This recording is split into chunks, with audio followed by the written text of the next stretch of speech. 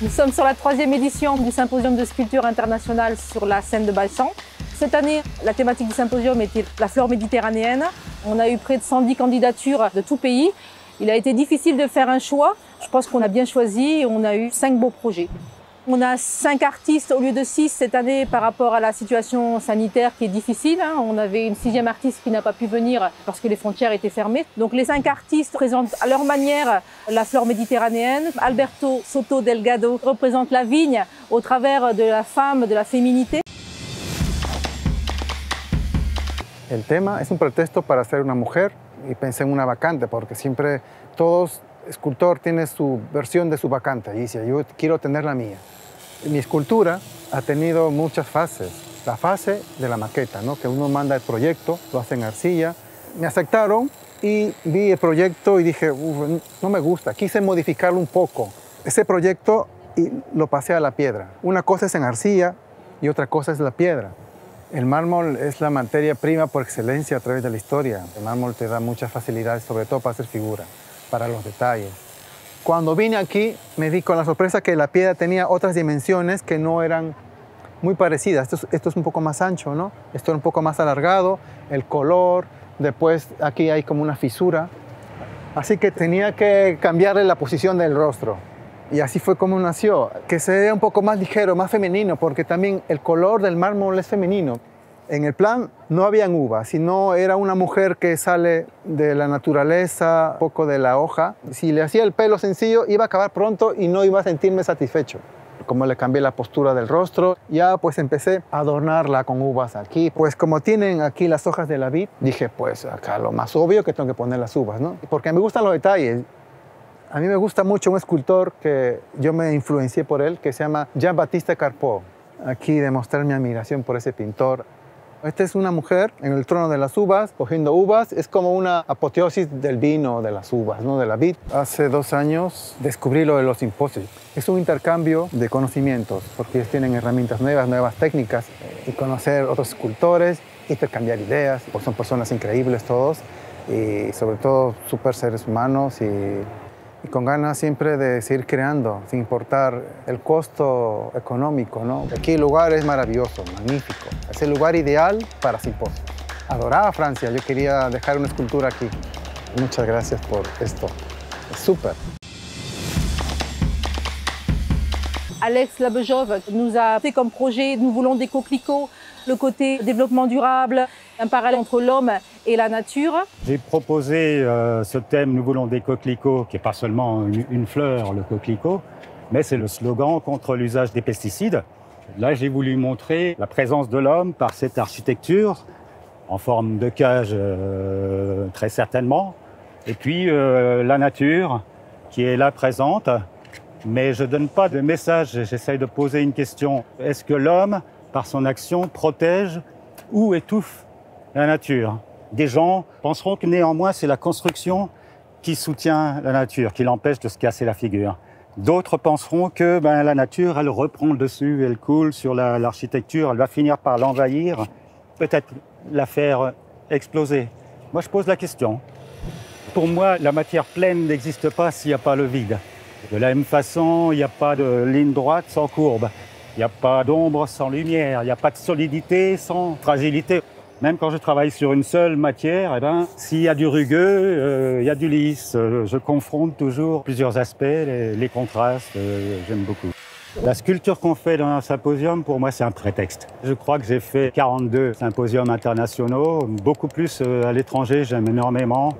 Ici à Bessan, c'est la première fois. L'essentiel du symposium, c'est aller vers les autres artistes, aller vers les publics. L'esprit du symposium, c'est le partage. J'ouvre grand mes yeux, grand les oreilles et je regarde les autres euh, bosser. Ça m'enrichit énormément à chaque fois.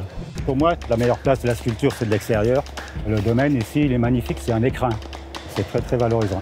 Parfois, c'est même des conditions trop préservées peut-être pour euh, notre modeste euh, œuvre. Moi, j'aime bien que ce soit vivant, que ce soit pas sacral et que les gens s'en emparent. Les gens et le temps.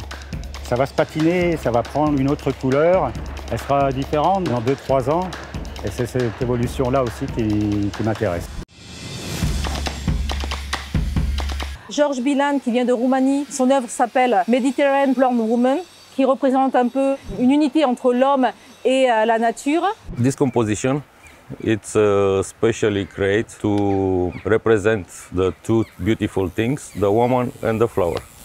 It's a reference to the original Medusa. It's just a comparison. It's a zoomorphic creation formed by the human face and the spirit of the plant and flowers. Here it's the guardian of the flowers. He protects all creation. The sculpture not begin with the face and the back. You move around, it's another uh, perspective to the sculpture. The symposium is not for work.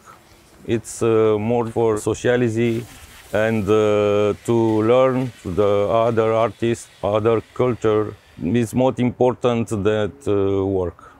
I apply to this symposium because I want to be here in France.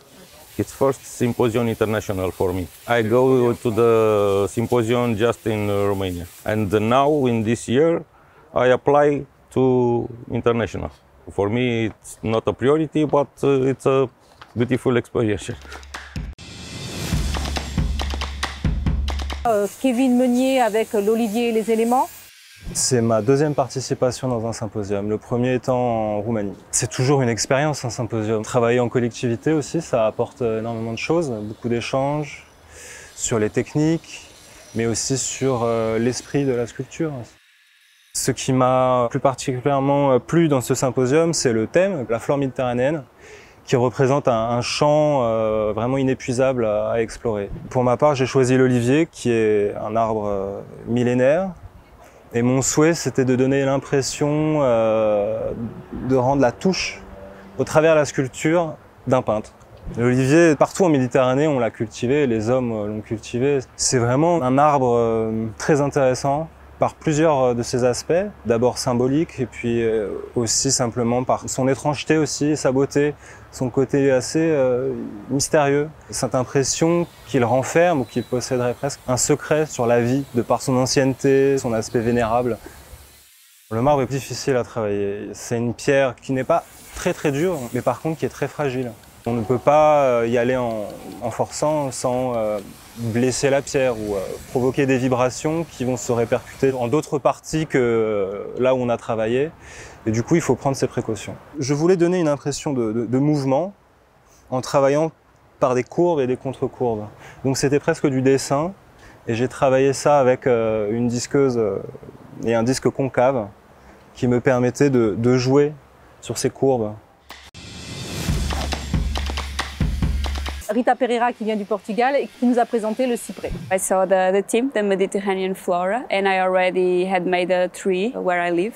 I thought about the same concept and I decided to apply with the similar project but with a different tree. I choose the cypress because this one fits better for the type of stone. They had it here and then I was seeing all the story about it, the mythology and I found it really interesting. My idea doing this tree is to plant it. This is a outside stone that it's going to be a part of the flora, the natural flora. And this is my big idea is to plant it and to gain all the musks, all the lichens, all the colors of the nature surrounding. I choose the tree and I choose the era, the plants, uh, because it's the connection with the earth and going on the sculpture. So this is going to be the part that is going to, the nature is going to contaminate more.